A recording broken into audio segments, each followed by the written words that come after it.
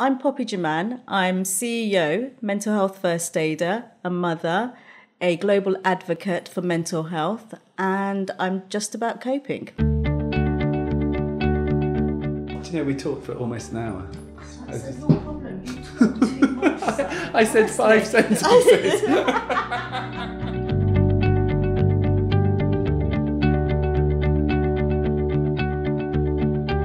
I'm Simon, and this is just about coping. And there are very many odd things that you get to do in your working life, but it's not very often that you get to interview your predecessor, the person that founded and made the organisation that you're now chief exec of a roaring success.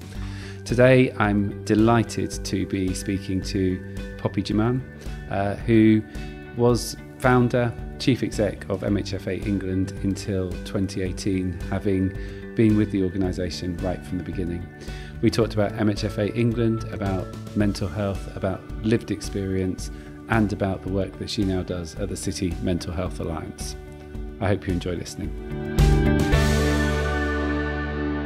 So, Poppy, I'd be really keen just to start by talking a little bit, listening a little bit about your journey into the mental health work. Uh, how, how, did, how did you end up as Chief Executive of the City Mental Health Alliance? Um, so, uh, well, as you know, the first, the previous role was CEO of Mental Health First Aid. Your job, Simon. So that's that was really how I how City Mental Health Alliance um, came into my world. But before that, uh, mental health came into my world when I was still working in Portsmouth as a community development worker through the local authority. And actually, my first introduction to the mental health world was a really small team that I'd created. And we, we were called Culture Works. And I smile as I think about it because it seems so cheesy, but it, we actually had a competition to get that name. Um, and basically, what we did was we recruited people from the community. So at the time, it was the Bangladeshi, the Chinese, and the Vietnamese community were the three big communities that were in Portsmouth. And we recruited people from the community on a sessional basis to work with people that were coming out of mental health hospitals um, to help them reintegrate and settle back into the community. So, really basic things like supporting them to get their benefits right, helping them do the food shop, and reminding people how to cook. Because when people had been in hospital care for a long time, often we found that people lost their second language skills as well. So having bilingual support workers that worked along, alongside community psychiatric nurses and social workers to help people with just basic life skills was really where my my journey in mental health started. And then you went to the Department of Health and worked specifically around race and mental health? Yeah, so that project, Culture Works, won an award. I don't know who entered it to earn an award, but because it was Portsmouth and it was Southeast, it was seen as an organisation that was doing some really effective, simple work. So through that, um, I was asked by my my boss then, lady called Fiona Penfold, whether I wanted to do a BAME, well, it was BME at the time, Black and Minority Ethnic Leadership Program that the NHS was running. My initial response was, why do I want a leadership program for BME people? Why can't I just do a, a one that everybody else is doing? And um, she convinced me that actually it would be one that would be really beneficial because of whatever it was she noticed that I she thought it would be important for me. And then I guess the imposter syndrome kicked in and I was a bit like there's no way I'm going to get selected for this. I'm not a nurse. I've never worked in the NHS. I'm just a community development worker. Anyway, I got on the course and that really opened up my eyes around the inequalities that uh, people from minority communities experience and how some of my thoughts and expectations of what I could ex- have as a career opportunity were limited by my background, my ethnicity, the lack of role models. Because um, I was in a room full of other people from minority communities at various different positions, but all of us in managerial roles. And almost all, all of us had very limited expectations of what we could achieve. So the leadership program was really effective, and it was really effective because it was it brought like-minded people together Yeah. from around the country. And out of that came an introduction where uh, the Department of Health had created an organization called the National Institute for Mental Health in England.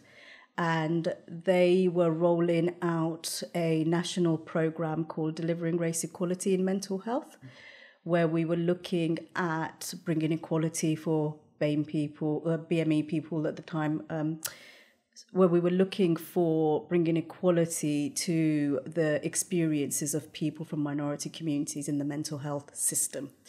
Um, so I applied for that job, and there was nine of us recruited from 250 people around the country. And again, each it was four interview processes, and each time I got through each interview, I was a bit like, oh, okay, this is getting really serious. I might actually end up with this job. Really surprised to have got it. So that was the Department of Health stroke Department of Health's organization, NIME, that um, came in that, that that came into my working life. And then that's when I came across mental health first aid, along with Fionnuala and others, Caroline and others that have been in the mental health uh, uh, mental health first aid organisation from the outset. Um, and if you were to look back at the um, the experience of doing that work at the Department of Health, if there were sort of two or three things that you learned about inequalities in mental health, what would they be?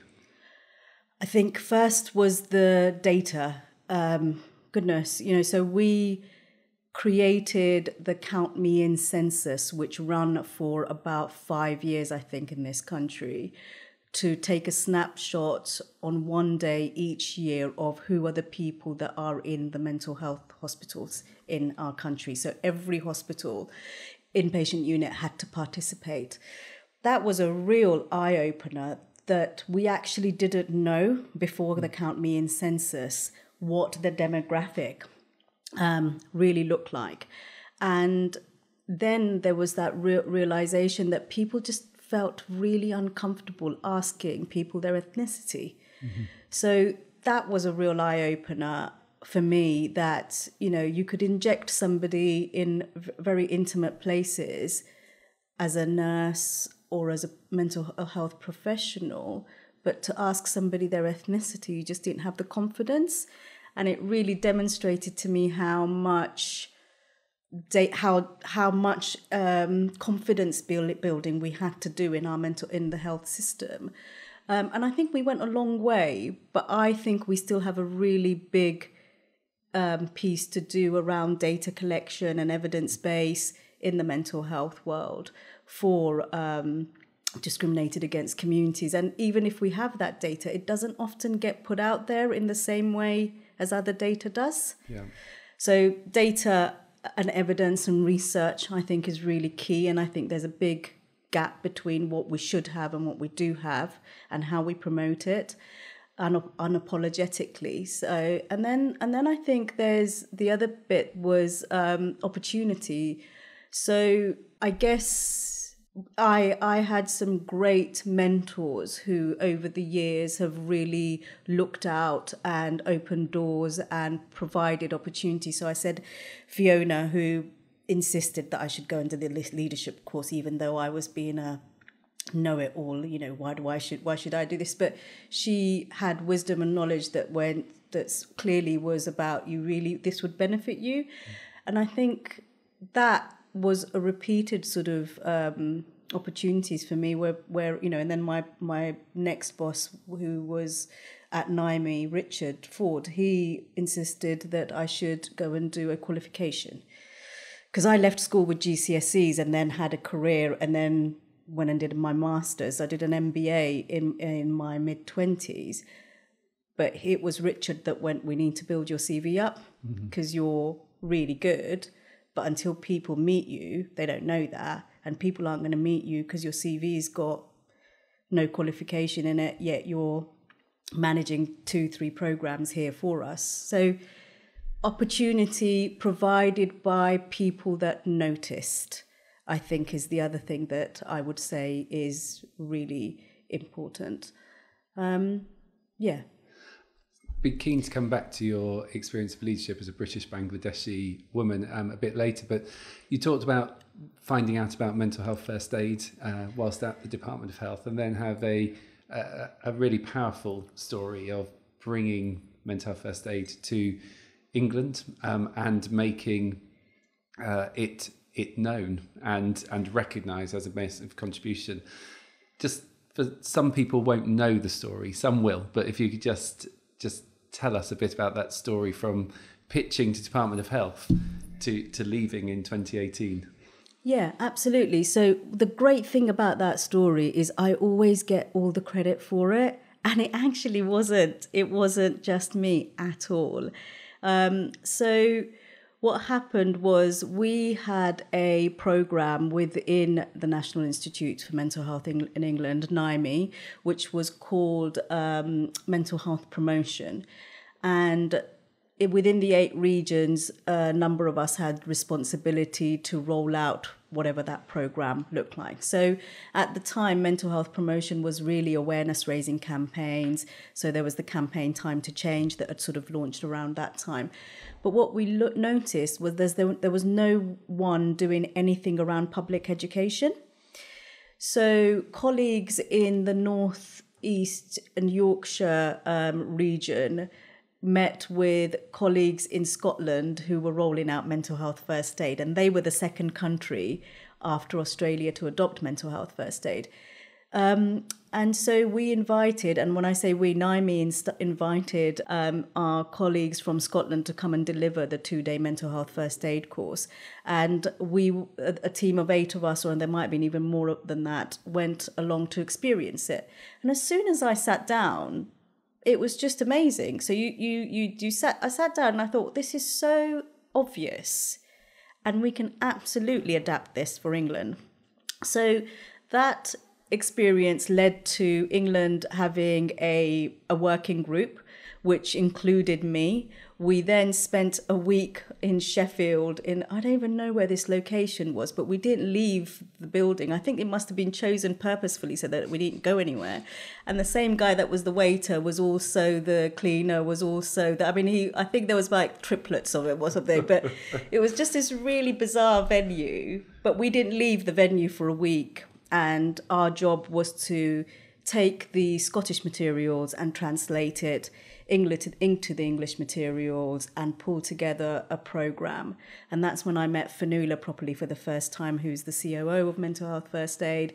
I met Caroline, Jeremy Voden, Chris Morgan, who were all part of that original team. We had a lot of fun, um, but we also came up with this thing that was that we were all so proud of. So that was the beginnings of mental health first aid. And and so that was from within the Department of Health. Yeah. And then at some point, Department of Health was saying, we don't think this is something we're going to continue. So tell us the second leg of the journey. Yeah. So we then um, we then we then all within our jobs went back to our regions and started rolling out testing out the mental health first aid course. London region, Fionnuala's region, was the most successful because she's brilliant.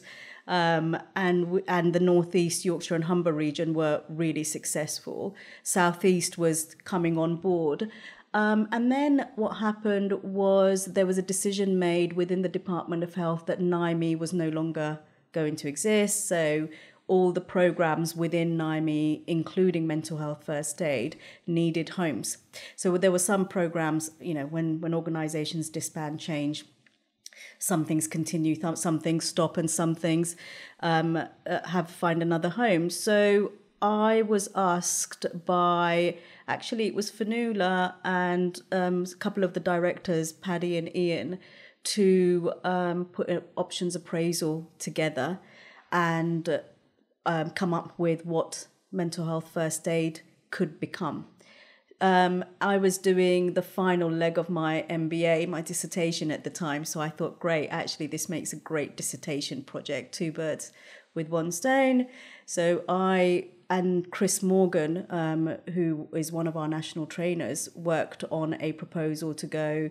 These are the three options. We think actually instead of outsourcing it or ending mental health first aid, we could set it up as a community interest company, which at the time was a really new model. I think it only been around for about two years. Yeah. Um, and we it was almost like a dragon's den style thing. We had to go in and propose this uh, this offer, this idea to it was four directors that sitting in front of us, and to my surprise, they went, "That's great you've got nine months, three days a week to take it out of DH and set it up as a community interest company.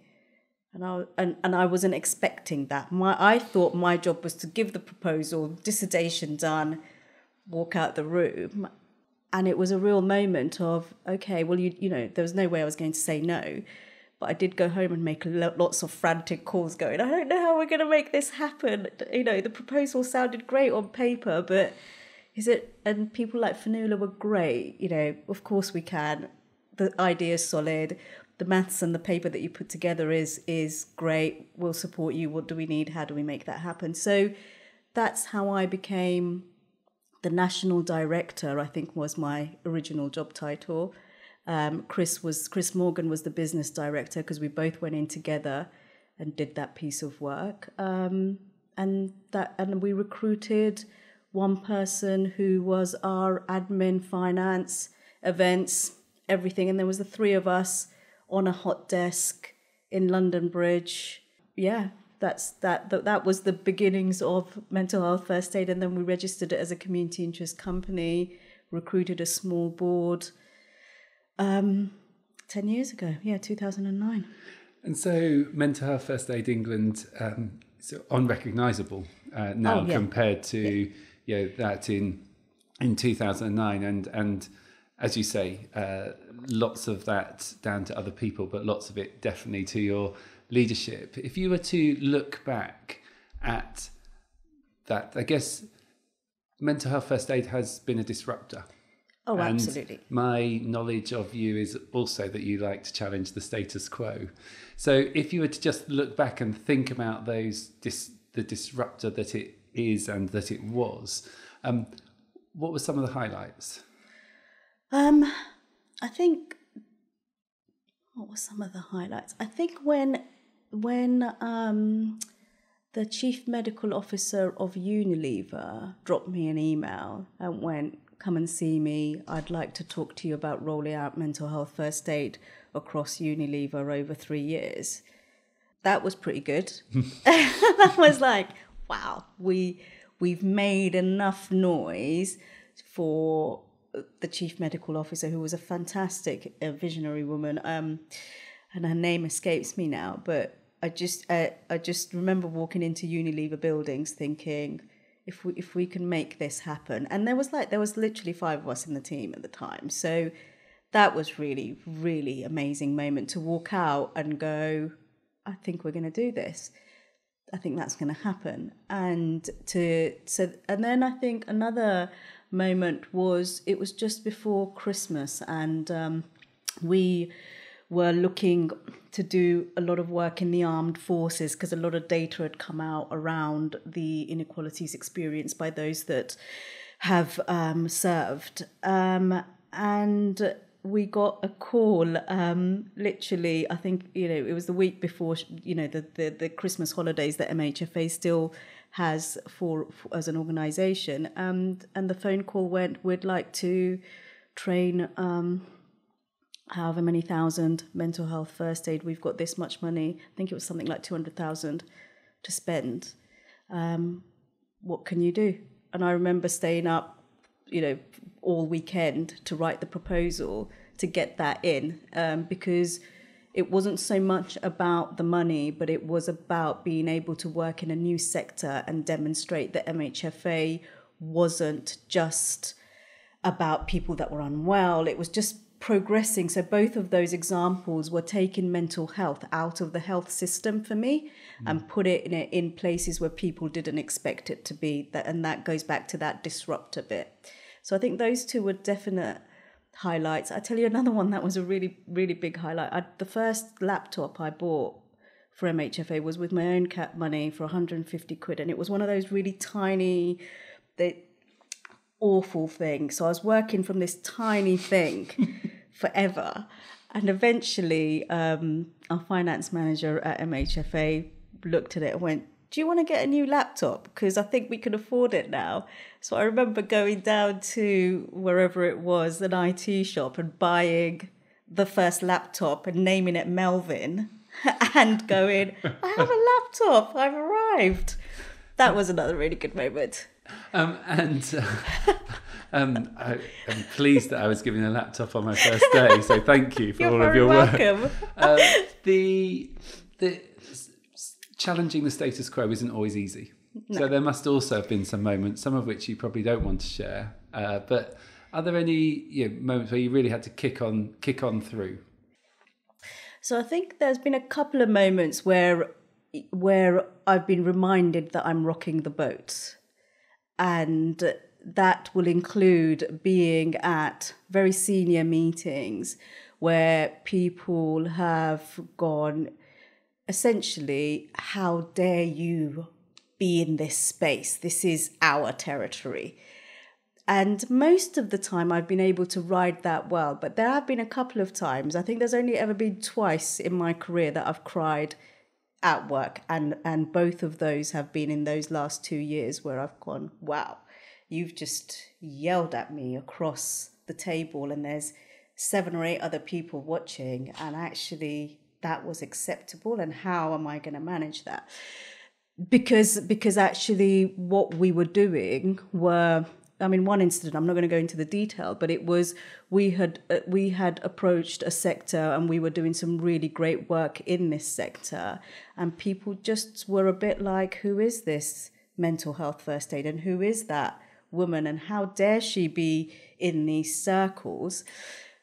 And just made it known and questioned our credibility, questioned the numbers that we'd trained. So instead of going being authentic and going, I've got a real problem with this organization, or celebrating and coming alongside us and being our allies, just felt bullying was the way forward. Mm. So those were really tough moments. But actually, the MHFA team were just fantastic at holding me when things like that happened.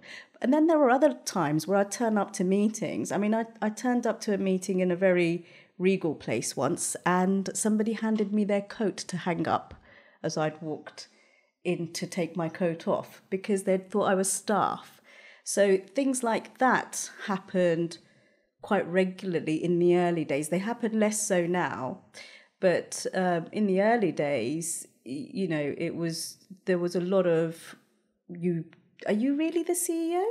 That kind of questioning. And that was quite, you know, holding your nerve through those kind of welcomes or introductions um, were tough because then you have to sit down and sell MHFA, forgetting that somebody had just questioned whether you should be in that room at all. Yeah.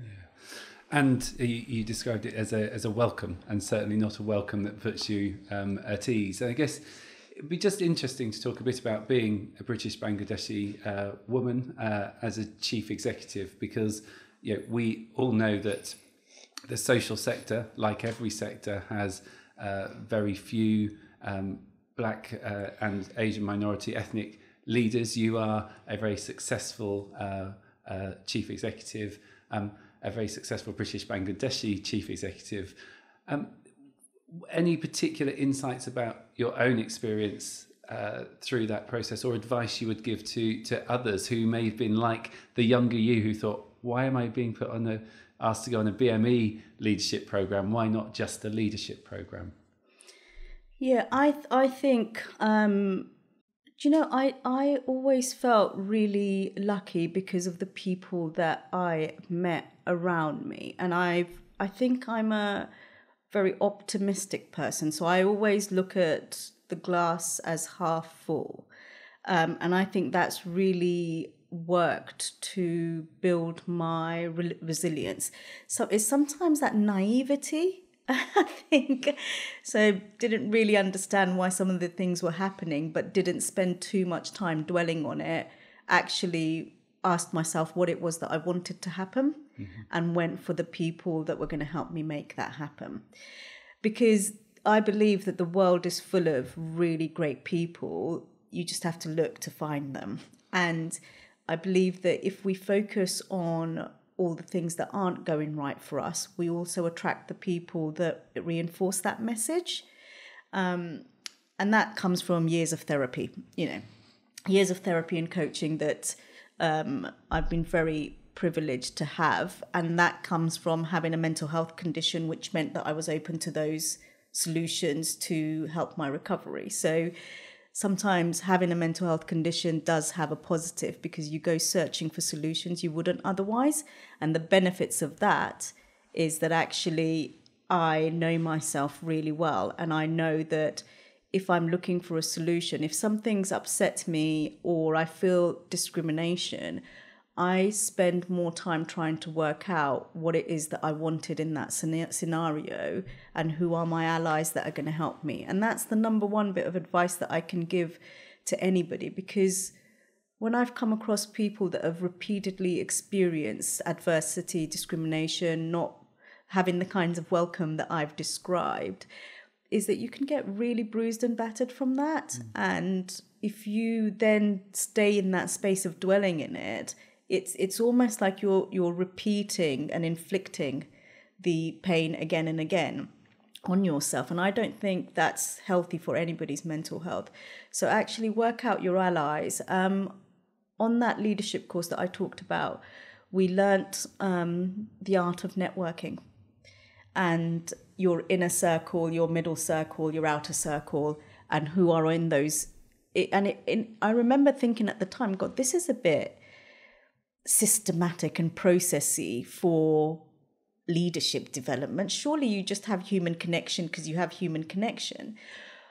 But it really, the art of networking is really, really important. And I would say to other British minorities or anybody that feels like they're not progressing, it's not you need to look around you to see who are the people that you're surrounding yourself by and learn the art of networking because it's the people that support us that nudge us that help us get to where we want to get to or solve some of the issues that we're grappling with. It's very rarely books and courses and you know digital information it's usually other human interactions and so you left mental health first aid england um, you know a, a, a thriving and, and very proud organization fully formed social enterprise and went on to work at the City Mental Health Alliance, another job disrupting the status quo in many ways. Could you just tell us a bit about what City Mental Health Alliance is doing? City Mental Health Alliance is a membership organisation. It's made up of large corporates that employ more than 500 people, primarily in the financial and professional services sector.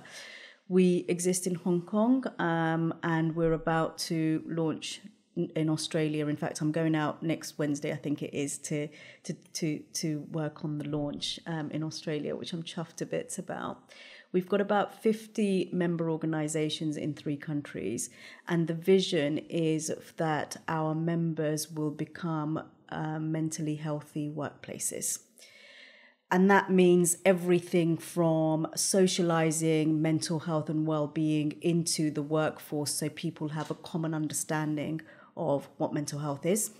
Because actually, you'll be very surprised that because we work in this bubble, sometimes I forget that some people, a lot of people still think mental health is mental illness. Um, the second thing is skilling up. So the work that organizations like Mental Health First Aid and others are doing. How do you skill up your line managers, your boards, your your employees at every level? But actually extend that to the families, because we don't all you know we all have families and what happens to our families impacts us at work so being able to develop that sort of social impact beyond work skilling up i think is really about that and then it's that final piece which is sustaining it what are we measuring what are boards measuring? How do they know that change is happening and it's the right change? Bearing in mind that workplaces haven't done this before, I feel like it's our responsibility to work together to create metrics, to put back into the world the things that we know work, things that we know don't work. And also, some of the companies that we're working in with, for example, HSBC, are in 66 countries. There's a real opportunity to learn the cultural nuances that is going to work and be effective and put that information back into the world. So, my vision is um, global really. If we've if world health organization are saying that 20, by 2030 mental health is going to be the biggest health issue in the world then i feel like we've got a collective responsibility to work out well build a movement build a community that are all going to work together or in this space fulfilling different parts of the jigsaw. So city mental health alliance is just one part of that greater jigsaw that i think will need um, building as we change the world on, on, on what we think around mental health.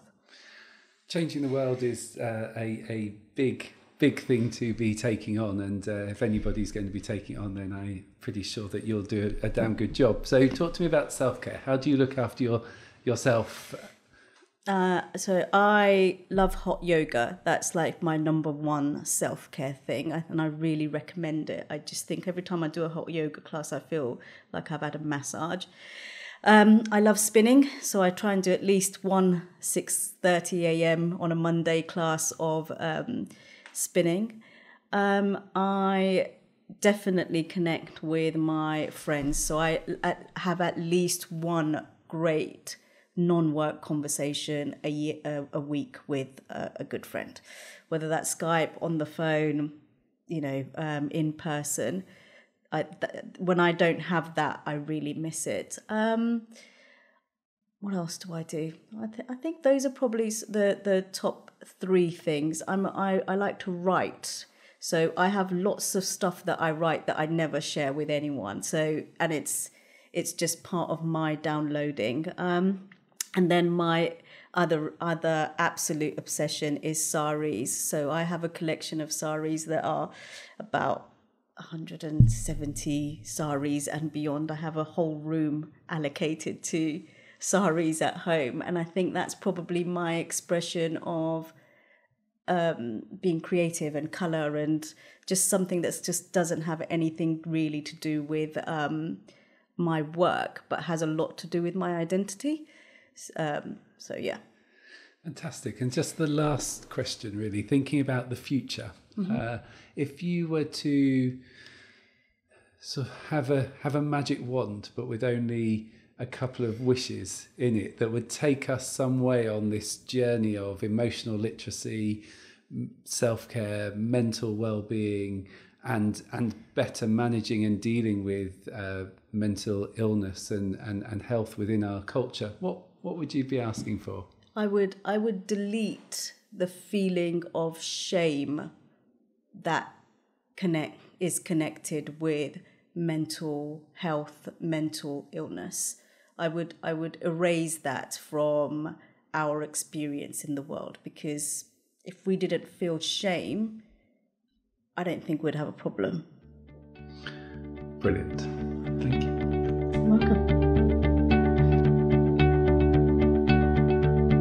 So I really enjoyed my conversation with Poppy, hearing about the early days of Mental Health First Aid England, um, the sheer grit and determination that took an idea uh, into uh, the brilliant social enterprise that the organisation is today. It was also interesting and important to hear about her experiences of leadership as a British Bangladeshi woman and the importance of bosses, senior managers, identifying people with talent and helping them to develop their skills and confidence. Thanks as always for listening. Please do subscribe, please do rate, leave a review, and thanks very much for continuing to cope with us.